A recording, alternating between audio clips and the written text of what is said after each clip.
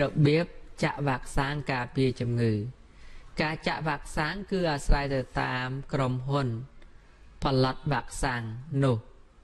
វ៉ាក់សាំងខ្លះគេឲ្យចាក់ក្រោមស្បែកហើយវ៉ាក់សាំងខ្លះឲ្យចាក់